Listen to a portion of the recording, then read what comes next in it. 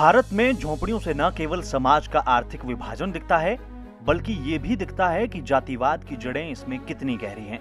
समाज में किसी भी झड़प के दौरान झोपड़ियाँ सबसे पहले जलाई जाती हैं।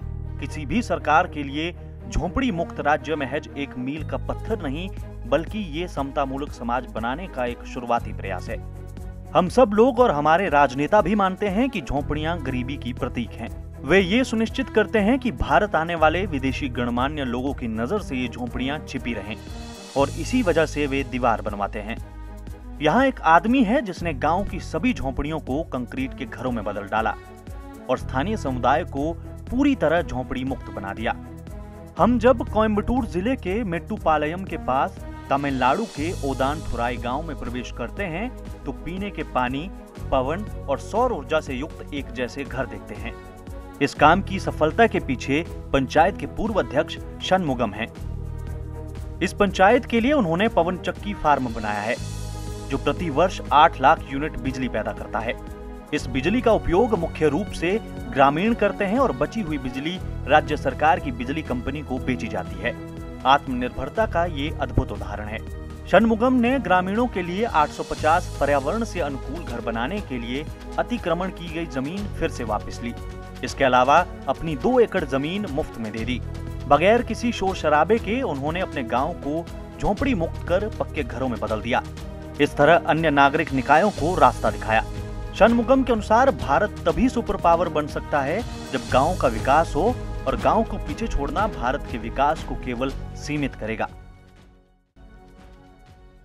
மக்களால் தேர்ந்தெடுக்கப்பட்ட ஒரு பிரதிநிதி மக்களின் அடிப்படை வசதிகளை பூர்த்தி செய்வதற்காக மக்களுக்கு தேவைப்படும் அத்தியாவசிய பொருள் அனைத்தும் அவ்வப்போது சரியானபடி கிடைக்க செய்வதற்காக ஏழை எளிய மக்களுடைய வாழ்க்கை தரத்தை உயர்த்துவதற்காக அரசு திட்டங்களை நூறு சதவீதம் தரமான முறையில் செயல்படுத்துவதற்காக பஞ்சாயத்தினுடைய தலைவர் ஏழையானாலும் பஞ்சாயத்து மட்டும் ஏழையாகக்கூடிய செய்தி நோக்கி நல்லவனாக மட்டும் இருந்தால் போதாது வல்லவனாகவும் இருக்கப்பட வேண்டும்.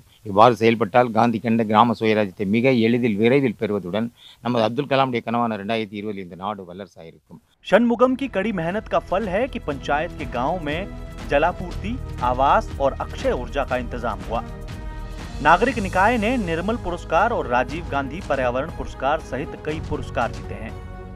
तिरपन देशों के बड़े अधिकारियों ने इसकी सफलता की कहानी जानने के लिए पंचायत का दौरा किया और वापस जाकर अपने देश में भी इसका अनुकरण किया। ओदान थुरई के बाशिंदे शनमुगम की बहुत प्रशंसा करते हैं।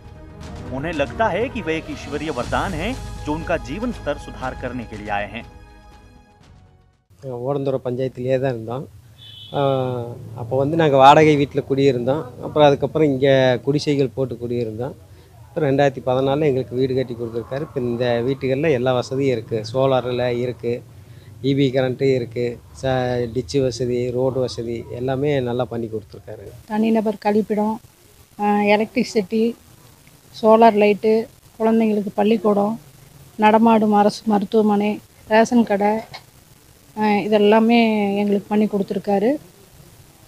மேலும் வந்து குழந்தைங்க ஆறாவதுலேருந்து அதுக்கு மேலே ஹையர் செகண்டரி படிக்கிறதுக்காக பன்னெண்டாவது வரைக்கும் ஸ்கூலும் கட்டி கொடுத்துருக்குறாரு. நாங்கள் வந்து எந்த விதமான ஒரு வசதிகளும் இல்லைன்னு சொல்கிறதுக்குன்னு இல்லை. எங்களுக்கு தேவையான எல்லா விதமான அடிப்படை வசதிகளையும் செஞ்சு கொடுத்துருக்காரு. उदान थुराई के लिए शनमुगम का संकल्प एक उदाहरण है कि किस तरह एक पंचायत के मुखिया का संकल्प सभी मूलभूत सुविधाओं के साथ किसी गाँव को आत्मनिर्भरता की राह दिखा सकता है। शनमुगम नाम मात्र के नहीं हैं, वे ग्रामीण विकास के प्रतीक हैं। Bureau report ETV Bharat. चौबीसों घंटे लगातार खबरें देखने के लिए डाउनलोड करें ईटीवी भारत ऐप।